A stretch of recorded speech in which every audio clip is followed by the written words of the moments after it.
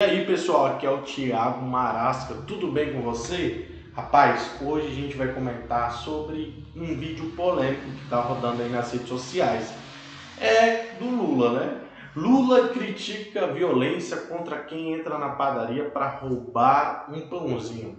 Eu vou colocar o vídeo aqui para vocês verem e aí logo a gente comenta. Assiste. Todo santo dia, por filho de milhões e milhões de brasileiros que muitas vezes são presos e são violentados porque entraram numa padaria e roubaram um pãozinho. Porque muitas vezes entraram numa farmácia e pegaram um remédio que possivelmente estivesse precisando. E muitas vezes essas pessoas são presas, ficam meses presos e muitas vezes não tem advogado, muitas vezes não vai o juiz, e essas pessoas ficam lá sem ter ninguém para então, cuidar. Pessoal, nosso país virou uma palhaçada, né? Você está vendo aí a fala do atual mandatário do Brasil, dizendo que é, algumas pessoas estão aí, é, é, roubam um pãozinho para porque está com fome, né? Apenas um pãozinho, e depois ele, come, ele comenta também é, do pessoal que vai na, nas farmácias e rouba um remédio porque está precisando. Então, o que, que acontece? Você normalizar essa cultura do roubo é algo muito perigoso e principalmente vindo um presidente da República. Você vai lá numa farmácia pergunta pro, pro dono, pro proprietário da farmácia, se ele gostou de ter uma arma na nuca porque um cara foi roubar medicamento, ou porque um dono de uma padaria que acorda 5, 4 horas da manhã para amassar o pão, para colocar o pão no forno, ele gostou quando ele foi roubado lá na padaria dele. Será se isso justifica algo? Será se um roubo, porque é um alimento, porque é um remédio, justifica algo?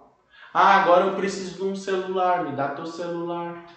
Eu te roubo. Está justificado. Não, porque ele não consegue comprar um celular. É essa justificativa, é essa narrativa que querem pregar por aí. Para dar o quê? Uma para gerar uma cultura de, de roubo, uma, uma normalização de ser roubado e você ir lá na polícia, mas não, mas é porque ele estava precisando. É, não, mas ele roubou o pão, mas é porque ele estava com fome. Não, mas ele roubou o remédio, mas é porque ele, enfim, estava doente. Aí entra um parênteses. Mas se a pessoa está roubando, ela está trabalhando? Ela está trabalhando, porque se você está falando que ela está ganhando a vida roubando, é porque o serviço dela é roubar. É você normalizar isso ao ponto de você apoiar isso.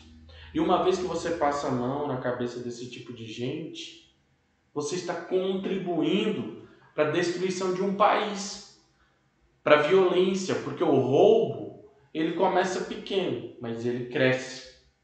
Então, se ele apoia os pequenos roubos, aquele que roubou o pão, daqui a pouco está roubando e estrupando. Aquele que roubou o remédio, de uma via fácil, né, de conquistar as coisas, ele está roubando teu celular daqui a pouco na rua. Ele está matando teu filho para pegar o carro dele. E é isso que a gente quer ouvir de um, de um presidente do país. É, é esse o formato de cultura que a gente quer gerar no nosso país? De uma via fácil, de uma via de violência, de uma via de criminosa. É aquela coisa, né? O crime compensa aqui no Brasil, pois a gente tem um ex-presidiário na presidência. Compartilhe esse vídeo nas suas redes sociais e me siga, né, para a gente, estar tá nos acompanhando aqui.